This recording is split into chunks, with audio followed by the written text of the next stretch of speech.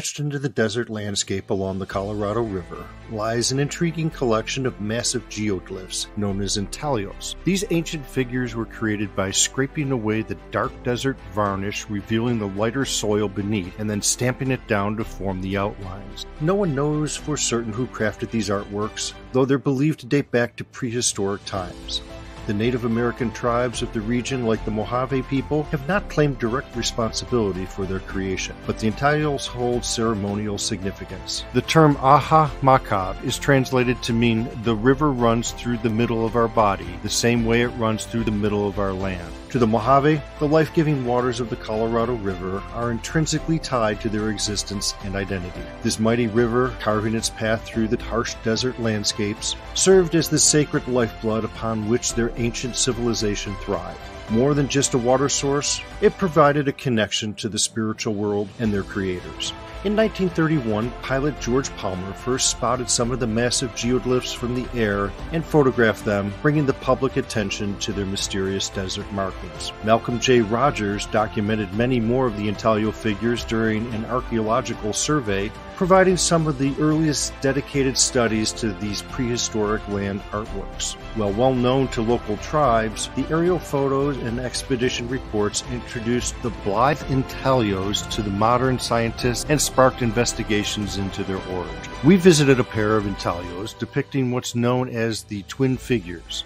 Two humanoid figures presented on top of each other. The twins are located just south of Laughlin, Nevada, in a town called Fort Mojave. The figures bear likeness to Mastamo and Kata, the hero twins of the creation myth. Mastamo is pictured on the Blythe intaglios with stretched arms, which are supposed to indicate that he's protecting his people from destruction. He was said to save his people by gathering them in his arms and taking them to the Spirit Mountain, currently located north of Laughlin near the Grapevine Canyon petroglyphs. The figures stretch an incredible 150 feet across from the top of the head to the bottom of the feet. Strangely, while the torsos are deeply etched, the limbs and heads are often merely faintly sketched. Like the other intaglios, this geoglyph was formed by the painstaking process of scraping away rocks and the desert's dark rock coating that forms over time called desert varnish. This is the same desert varnish that's removed to make petroglyph drawings. The lighter soil is revealed beneath while the darker rocks are removed.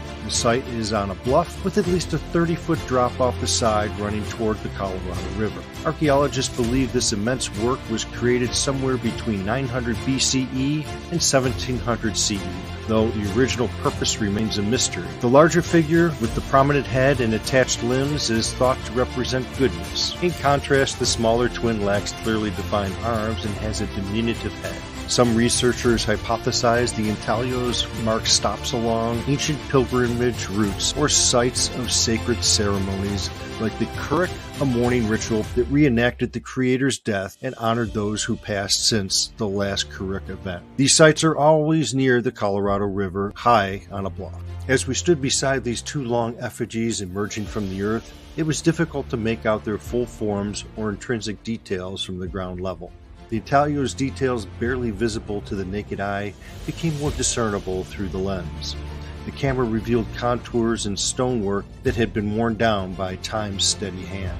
Amazed by the incredible scale and the skill required to create such an enduring mark on the landscape, we launched our drone to get a bird's eye view. From this aerial vantage point, the true artistry of the intaglios was suddenly revealed. The image on the screen was a portrait into the past, faithfully capturing what had been rendered into the rock generations ago by devoted hand. It was a moment of awe as the image appeared as the drone ascended above us. Sweeping lines etched into the desert stretch out before us, their design emerging with striking clarity. Despite the centuries that have passed, the eternal coexistence of the twins seems to radiate a powerful significance that was impossible to grasp when viewing the site from the ground. Seeing the full scale and precise rendering of these ancient desert etchings from above is a breathtaking experience. The sheer enormity of the humanoid figures and their creators' mastery is laid bare, leaving us to ponder the unknown stories and meanings that they have guarded for so long. What look like simple scrapings in the earth take on new life as iconic artworks that have amazingly endured the whims of nature for hundreds of years. How is this possible? Should you choose to witness the breathtaking beauty of these intaglios firsthand, remember that you are stepping into sacred ground. These sites hold profound religious and spiritual significance. Stay outside the designated fencing, leaving the intaglios pristine for future generations to appreciate and study their mystery. As we conclude this aerial journey, we hope that you feel as moved as we did by these monumental desert etchings. Their sheer artistry and perseverance through time is humbling. Don't forget to subscribe and like so you don't miss upcoming videos exploring more intriguing links into our mysterious past. For now, we're signing off amongst the towering humanoid guardians of the desert. Let's promise to meet again soon in another forgotten corner of the world. We're off the beaten path.